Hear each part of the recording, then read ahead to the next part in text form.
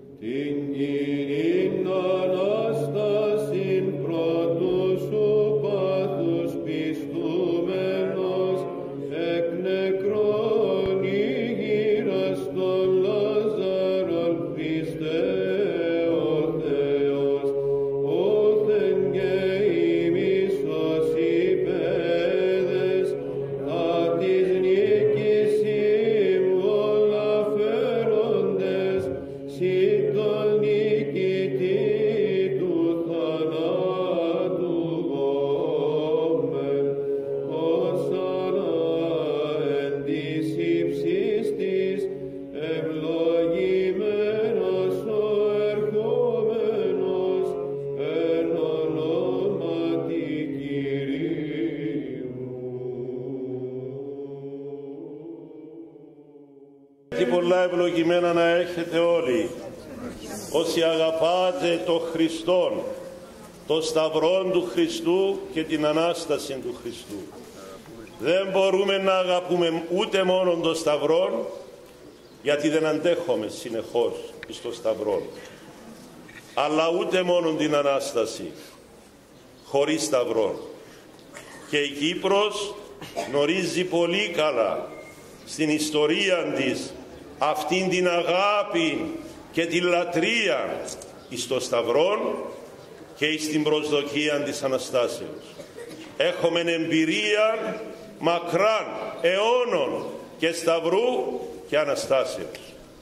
Και αυτή η εορτή που καθιέρωσαν οι πρωτινοί μορφίτες το Παναήριν της Ελιάς όπως το έλεγαν οι παλαιοί η εορτή της των Βαΐων και αυτή η λιτανία μεταβαΐων και κλάδων ελέας.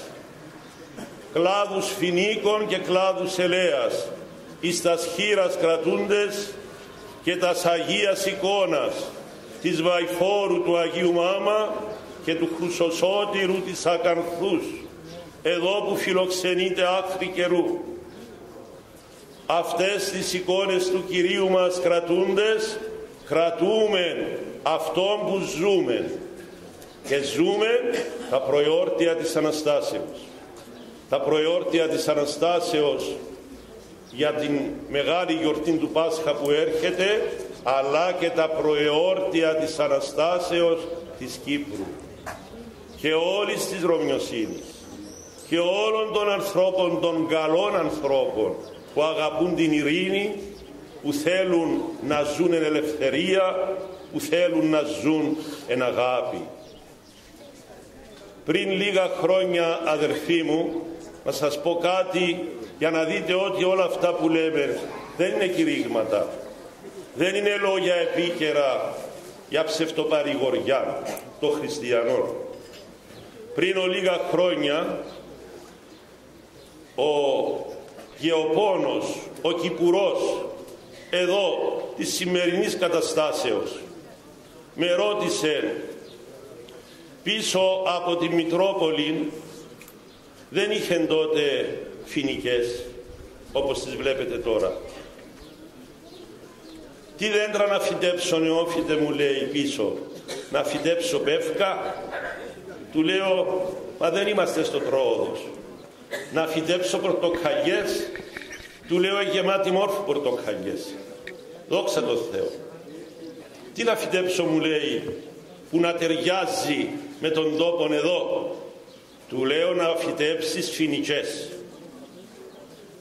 και κανένα δυο ελιές.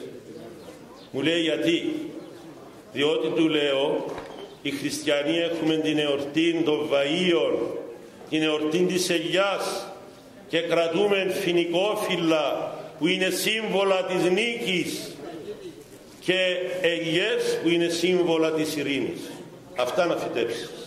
Και θα έρθει καιρός που θα τα χρειαστούμε. Που θα έρθει καιρός του λέω που θα τα χρειαστείτε κι εσείς. Και όλοι μαζί μία πίμνη εις ποιμή όσα κατάλαβε εκατάλαβε σημασία με κατάλαβε ότι πρέπει να φυτέψει φοινικές και δεν σε φύτεψε και μεγάλωσαν οι φοινικές και είναι αυτά τα βαΐα που κρατάτε τώρα στα χέρια σας άρα ό,τι κάμνομαι πρέπει να γίνεται με προοπτική. Να υπηρετούμε το σχέδιο του Θεού και όχι των ανθρώπων. Και αυτά που ζούμε σήμερα ο Σταυρός, αύριο θα είναι εικόνες της Αναστάσεως του Χριστού, της Κύπρου και κάθε καλού ανθρώπου. Καλόν Πάσχα να έχετε και την λαμπρή να χώριστη. Διευχών των Αγίων Πατέρων ημών, Κύριε Ιησού Χριστέ ο Θεός, ελέησον και σώσον ημών.